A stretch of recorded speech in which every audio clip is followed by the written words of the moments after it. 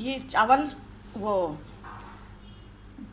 मैंने पानी सुखा के उसको दम पे रख दिया था। अभी मैं इसको डिश आउट करूँगी। मैंने इसको डिश आउट कर लिया है। इसमें ये ये डार्क येलो है, ये थोड़ी सी लाइट येलो है, और ये उससे लाइट येलो है। इसमें तीन कलर आते हैं। आप ज़रूर बनाइएगा और मेरे जायका के पी के को चैनल को सब्सक्राइब करो और मेरे फेसबुक पे मेरे पेज को लाइक करें ज़रूर। अपनी दुआओं में याद रखें। अल्लाह हाफिज़ अल्लाह हाफिज़। रहमान रहीम। आज मैं एशियन स्टाइल अरेबियन राइस बना रही हूँ। अपना एशियन टच दे रही हूँ उसको। उसके लिए हमें जिन चीज़ों की ज़रूरत है ये दो टेबल स्पून बटर है। मक्खन है अनसॉल्टेड है। इसमें मैं एक टेबल स्पून ये मैंने ऑयल इसमें एक टेबल स्पून डाल दिया है। ये, गरम हो रहा है और इसमें मैं ये एक मीडियम साइज़ प्याज थी वो मैंने काट के इसमें ये डाल देंगे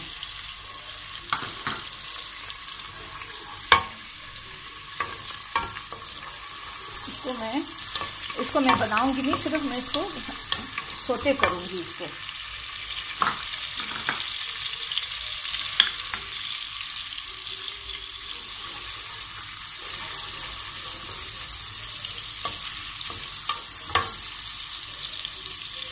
अब इसमें मैं ये, इसके साथ ये, आधा किलो बोन वाला चिकन है और ये मैंने चावल बॉयल किए हैं। आधे थोड़े से येलो किए हैं, उसमें हल्की सी एक पिंच हल्दी डाल के बॉयल किया था अलग से और एक आधे जो है ना वाइट है तो उनको मैंने मिक्स कर दिया है। इसको मैंने उबाल के और दोनों को मिक्स कर लिया है। एक हल्दी इसमें एक में एक चुटकी हल्दी डाली थी मैंने। एक में और एक हिस्से में मैंने वाइट बॉयल किए थे। ये तीन हरी मिर्चें हैं। ये एक छोटी शिमला मिर्च है। ये छः इलायची हैं और ये तेज़ पत्ते हैं। एक बड़ा पत्ता मैंने तोड़ लिया है। और ये एक जर्मन मिर्च है, लाल, ये मैं काट के इसमें डालूँगी। अब ये प्याज थोड़ा सा हल्का सा सोते हो गया है। इसमें मैं ये सब चीज़ें डाल दूँगी ताकि इसका फ्लेवर इसमें आ जाए।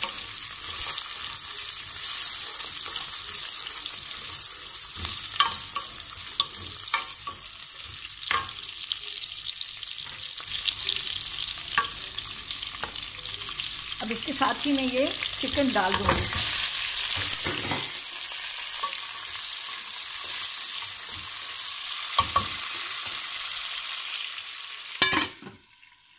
अभी ये मैं डाल रही हूँ लाल मिर्च, ये जर्मन लाल मिर्च इसमें मैंने ये लाल मिर्च डाल दी है। ये जो जर्मन मिर्च थी ना ये ये मैंने तीन चार टुकड़े करके इसमें डाल दिए है। इसमें मैं नमक हसबे जायका थोड़ा सा डालेंगे, फिर बाद में चख के डालेंगे और ये एक साशा है यखनी वाला।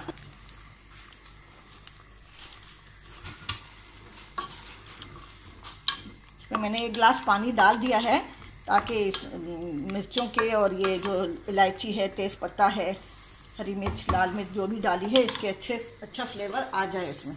इसको मैं ढक लूँगी।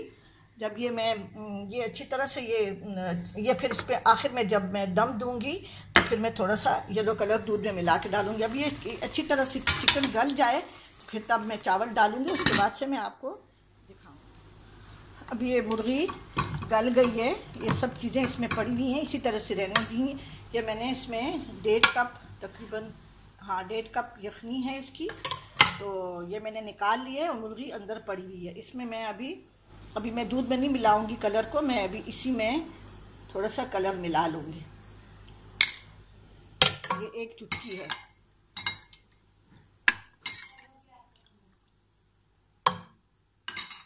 अभी ये चावल जो है ना, मैं पतीली में डाल के मिक्स कर रही हूँ। इसमें भी नमक पूरा है, उसमें भी नमक पूरा है।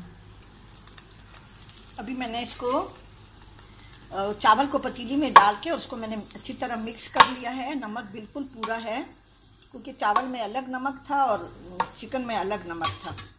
अब इसके ऊपर मैं ये यखनी डाल के एक तरफ़ मैंने डाली है। अब इसको मैं मैं दम दे रही हूँ। एक जोश आएगा उसका मतलब अच्छी स्टीम जमा हो जाएगी तो फिर मैं चूल्हा बिल्कुल हल्का कर दूँगी। फ़िलहाल मैंने तेज़ किया। चावल? वो मैंने पानी सुखा के उसको दम पे रख दिया था। अभी मैं इसको डिश आउट करूँगी। मैंने इसको डिश आउट कर लिया है। इसमें ये ये डार्क येलो है, ये थोड़ी सी लाइट येलो है, और ये उससे लाइट येलो है। इसमें तीन कलर आते हैं। आप ज़रूर बनाइएगा और मेरे जायका के पी के को चैनल को सब्सक्राइब करो और मेरे फेसबुक पे, मेरे पेज को लाइक करें ज़रूर। अपनी दुआओं में याद रखें। अल्लाह हाफिज़ अल्लाह हाफिज़। बहुत बहुत शुक्रिया।